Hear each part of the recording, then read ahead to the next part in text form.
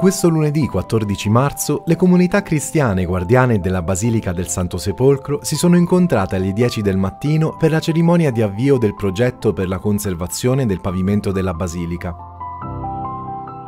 Presenti insieme a Fra Francesco Patton, custode di Terra Santa, il patriarca greco-ortodosso di Gerusalemme Teofilo III e il gran sacrestano del patriarcato armeno Sevan Garibian, che hanno affidato alla custodia di Terra Santa il compito di farsi carico dei rilevanti interventi. Oltre a loro erano presenti anche il delegato apostolico per Gerusalemme, Sua Eccellenza Monsignor Tito Ilana, e Fra Dobromir Riastal, vicario custodiale. La prima parte si è svolta davanti all'edicola del Santo Sepolcro, con la preghiera e un discorso di ognuno. A seguire, i rappresentanti delle tre comunità e degli enti coinvolti si sono spostati verso il corridoio antistante la sacrestia dei francescani, da cui inizieranno i lavori, per il sollevamento della prima pietra.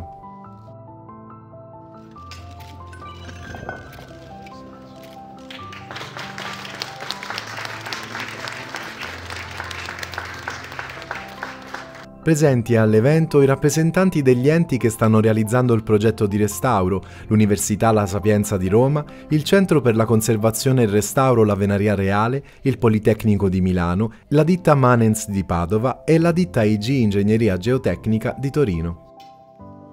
Well, we have been waiting for this uh, moment and it's a great uh, ho aspettato questo momento e questa è una grande benedizione per noi che abbiamo già, come sapete, finito i lavori di restauro dell'edicola. Ed era imperativo completare i lavori di restauro, perché questo avrebbe restituito la bellezza e la santità del Santo Sepolcro. This would uh, uh, restore back the beauty and the holiness and the sanctity of the Holy Sepulchres. Sì, oggi direi è un giorno benedetto perché abbiamo potuto insieme dopo questo lungo studio e anche dopo purtroppo le fatiche dovute alla pandemia iniziare la seconda fase dei lavori. Per me è un motivo di grande gioia essere riusciti a preparare anche questo secondo intervento insieme con eh, un afflato ecumenico e con eh, un sentire davvero fraterno. È molto uh, importante, non solo per noi stessi, ma anche per Dio, perché vogliamo che il Tempio di Dio sia presentabile, pulito, buono, in modo da dar gioia a Dio. E noi spiritualmente saremo contenti di aver fatto qualcosa di buono per Dio e per i nostri fedeli. Quindi sono felice e l'intera comunità di Gerusalemme è felice che finalmente abbiamo deciso di iniziare i lavori e speriamo, preghiamo, che nulla vada storto con la ristrutturazione e che tutto sia fatto correttamente, in tempo e in modo costruttivo. Um, Grazie al disegno di tutte le pietre del pavimento sarà possibile togliere e rimettere le lastre nello stesso luogo in un periodo che si stima essere intorno ai 26 mesi di durata. Per Fra Dobromir Riastal è senza dubbio un momento storico nella vita di questo posto e nelle relazioni tra le comunità che sono presenti nella Basilica e nella città santa di Gerusalemme.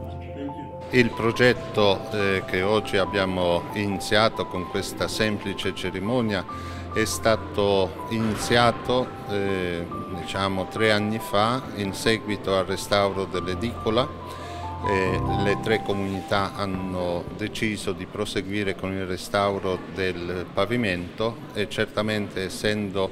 un progetto di eh, significato storico, ecumenico e direi anche ecclesiale, e senza dubbio è un momento storico nella storia di questo posto e anche nella storia direi delle relazioni delle comunità che sono presenti qui eh, in, eh, nella Basilica e in eh, eh Città Santa di Gerusalemme. Ogni giorno centinaia di pellegrini visitano la chiesa del Santo Sepolcro. Con questa iniziativa i fedeli potranno continuare senza impedimenti a visitare la basilica il luogo più speciale per il mondo cristiano. E io credo che questo in un momento così difficile come quello che il mondo sta vivendo sia anche un segno e noi faremo salire anche durante i lavori sempre una preghiera incessante da questo luogo per la fine della pandemia, ma in questo momento ancora di più direi per la pace, per la cessazione della guerra è in Ucraina ma anche per la cessazione di tutte le guerre dimenticate che ahimè ci sono nel mondo.